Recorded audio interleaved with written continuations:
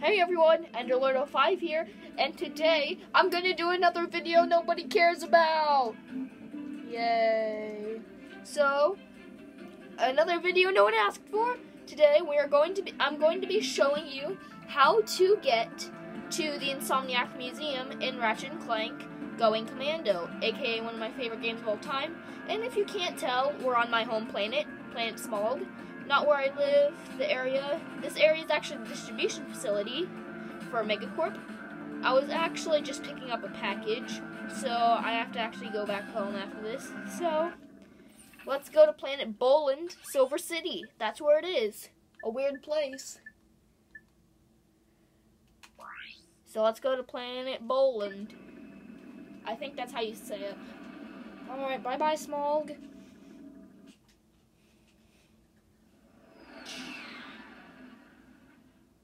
So we have to fly through quadrant B27, I think, to quadrant BA17. Alright, here we are, at Planet Boland.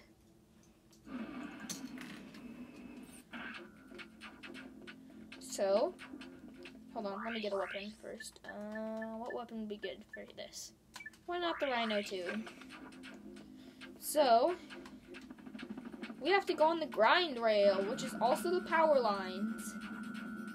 It's kind of tricky to get. But actually, it's out of bounds, which is really cool. Sorry.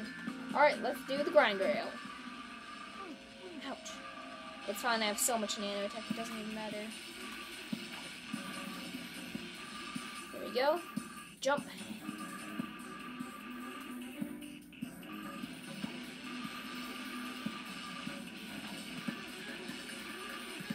Alright, we just have to get this.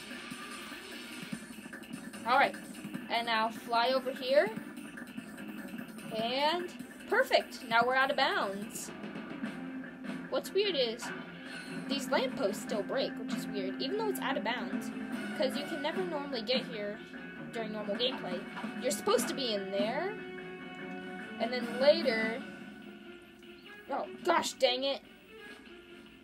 Wait, what? Oh my gosh, I found a secret area. But this isn't actually where we want to get to. Oh my goodness, I can't believe I fell down here. I mean, I guess this is a cool secret area. Can I actually get back out? Oh my gosh, I can't actually get back out. gosh dang it. I have to reload my save, guys. One sec. But we're still flying to the planet anyway. So, sorry about that. Um, uh, unwanted discovery. I hope someone can use that in a video. Probably if they're like boundary break. Alright. So, now the actual video. Uh, sorry about the undocumented discovery. So let's actually get back to that area. Alright, let's grind. Ouch. I keep missing that jump. Ooh, epic skills. Alrighty.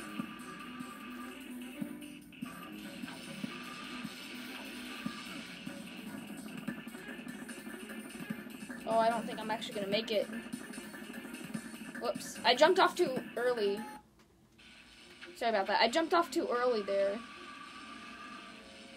I keep getting it mixed up to see if it's the one after that and the one before.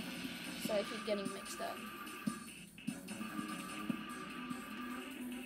Okay, sorry about the bad footage. I don't have a capture card for PlayStation 2, so you're gonna have to make do without. Okay, I'm gonna make it. So I'm gonna make sure not to walk over there. And actually use my charge boots. Let me equip them real quick.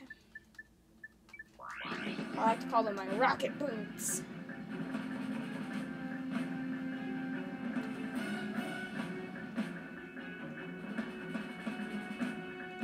So, where's the Insomniac Museum, you might ask? Actually, you have to take this road over here and go go onto a glitched road. I'll make sure not to jump down there next time. So it's actually a little glitched because you can see right through it. I mean, the top layer of texture is missing, so you can see through it. What's that up there? I? I don't know. It's really glitchy out here because you never intended to get here. This door never opens. You have to get really close to get that to load there. So you might be asking, wait, if there's a museum in here, how come we can't get there. Then if you can't get there, why am I making this video? Top 10 questions science can't answer. So what you're supposed to do is go here, and then you'll just be like, one second, whoa, no collision. Then you can actually jump up here. Sorry, one second. Alright, sorry about the loud noises. These guys never go away. They just keep respawning. So you're gonna have to take the teleporter and put you in your ship, and you're flying through the galaxy to an undis- undiscovered sector.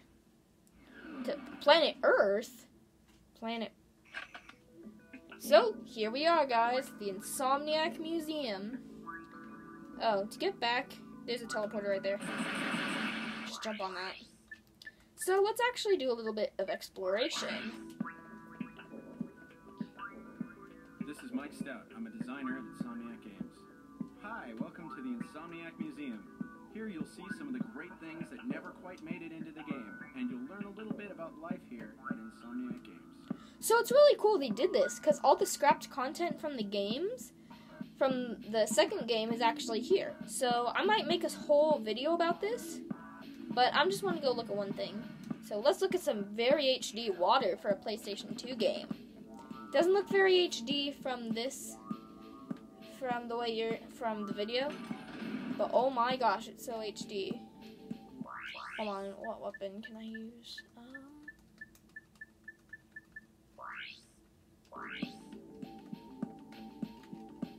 Let me not look at that. Alright. So, as you can see, if you press circle, it makes a splish splash. If you hold square, it stops. So you can literally just hold it and freeze it in time. So let's hear a little bit about the water. Hi, I'm Leslie Matheson. I'm a designer here at Insomniac Games. This was intended to be the water system for Ratchet and Clank. However, as even this little patch of water taxes the game engine to its limits, a modified and severely optimized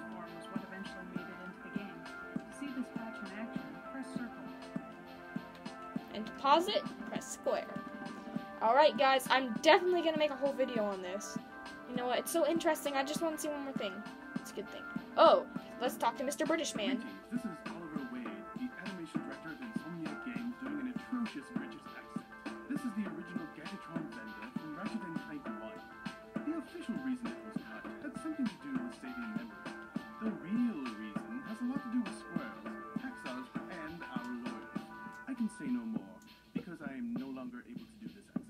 I'm not sure if you guys heard that, but basically, this is the Gadgetron vendor from the first game, but they cut it because of saving memory or something.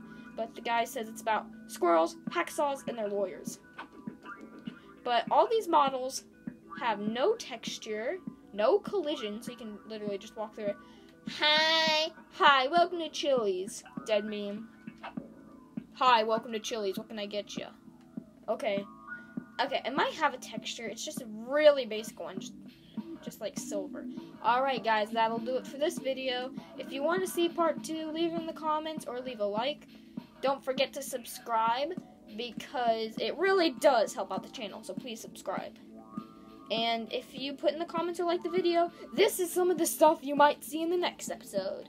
And in part 2, we'll take a look at what this guy has to say. Goodbye!